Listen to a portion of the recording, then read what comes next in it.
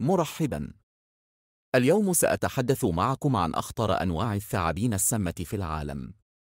تعتبر الثعابين من الكائنات المخيفة والخطيرة ولكن هناك بعض الأنواع التي تتميز بسمومها القاتلة. في المرتبة الأول ثعبان الكبرى وهو يعتبر واحدا من أخطر الثعابين في العالم بسبب سمه القاتل الذي يمكن أن يودي بحياة الإنسان في دقائق قليلة.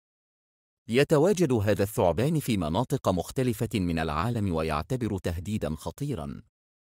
ثم نجد ثعبان الأفعى الأسود وهو ثعبان سم يعيش في أستراليا ويمتلك سما يمكن أن يسبب الوفاة إذا لم يتم التدخل الطبي السريع.